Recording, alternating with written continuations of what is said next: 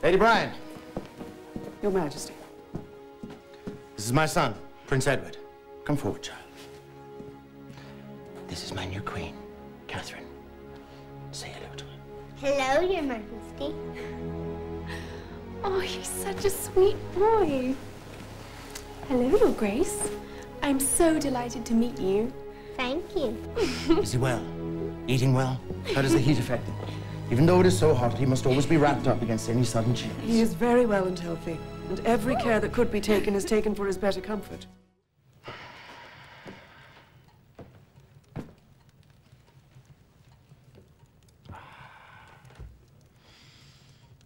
Edward. I trust you are well looked after, and everybody is kind to you. Yes, sir. Hmm. I have a gift for you.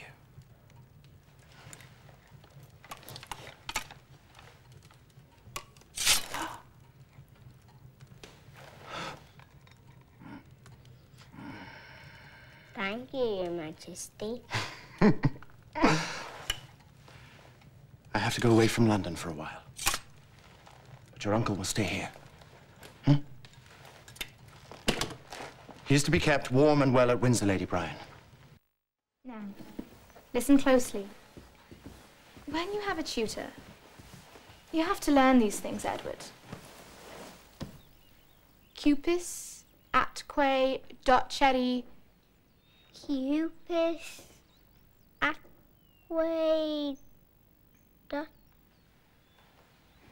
You want to go and play? Yes, if it please you, sister.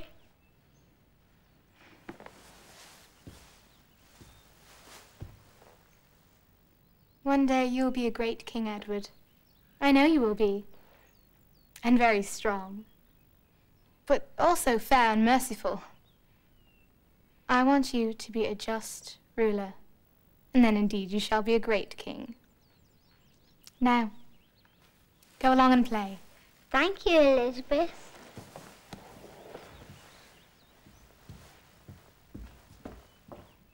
And God bless you. Prince Edward and Lady Elizabeth. Don't be so impatient. The Earl and Lady Hertford. Prince Edward. My lords, may I present His Grace, Prince Edward. My lords, Me, Your Grace. you are most welcome to His Majesty's court at this Christmas time. Your Grace is very kind to speak to us in person. I have been practicing. Well done. Good night, sweet Edward.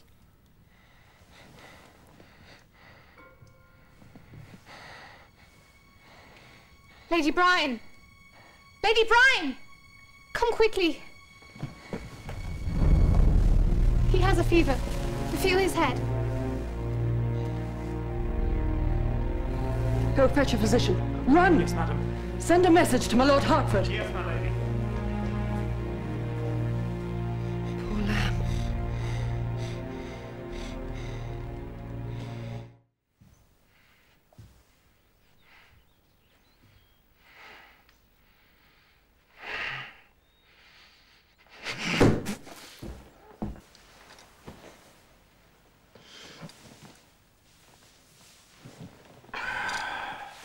Your Majesty.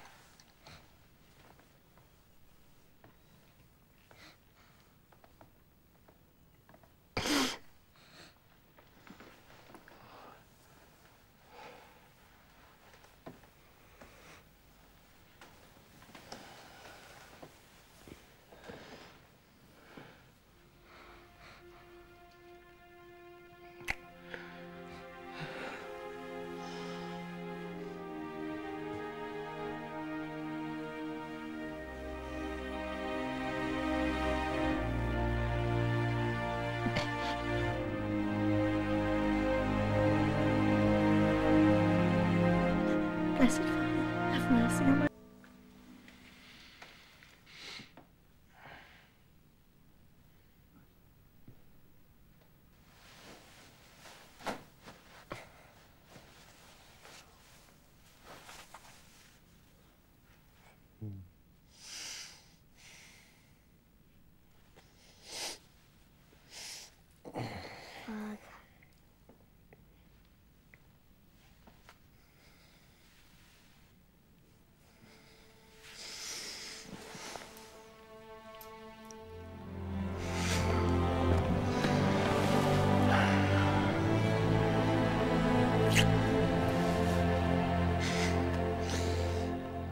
My lord, send for the Bishop of London.